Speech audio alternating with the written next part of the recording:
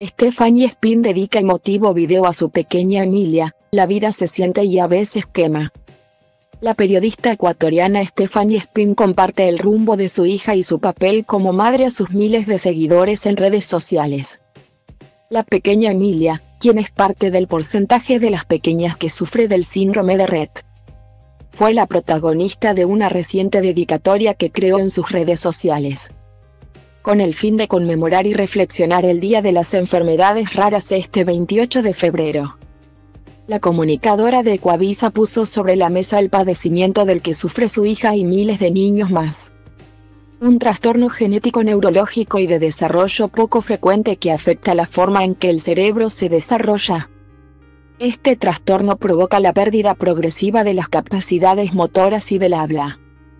¿Qué es el síndrome de Rett? Una madre cuenta su experiencia con su hija. La experiencia que Spin lleva sobre sus hombros ha servido de inspiración a miles de madres y padres de familia. Estos llegan a sentirse sin rumbo alguno en medio de una enfermedad que, en ciertas ocasiones, tan solo es catalogada como extraña, sin encontrar soluciones radicales pese a la lucha constante. La nueva vida de Denise Molina en Tailandia, porque lo dejó todo en Ecuador, ese viaje del que poco se conoce, poco se habla, y aún siendo más frecuente sigue llevando un título de enfermedad rara. Como si esa frase podría cargar en su definición todo el peso de tenerla, como si dos palabras podrían resumir lo que la vida se lleva cuando esa frase llega.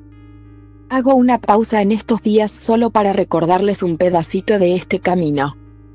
Para unos más ligero que otros, para muchos, más cuesta arriba que otros pero al final, para todos, solo pasos de entrega y más entrega, de amor y más amor. Aquí no hay espacio para dar a medias, para querer a medias, o intentar a medias. Alejandra Jaramillo y Juan Carlos Aisprúa se tomaron las redes de Coavisa. Para finalizar, Spin pidió a sus seguidores que mantengan en su mente a las miles de pequeñas que batallan día a día con esta y más enfermedades catalogadas como raras, que este 28 sea el comienzo de un recordatorio constante al que invita la vida de estas niñas.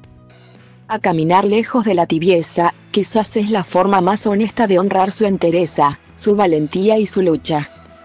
Denise Molina muestra las primeras imágenes de su nuevo trabajo en Tailandia. En los comentarios, sus seguidores dejaban en claro su admiración ante el temple de la comunicadora ante una situación de aquel calibre. Te abrazo. Steffi. Tu viaje visibiliza el de tantas otras familias. Sigue compartiéndolo para que sea más amable para todos.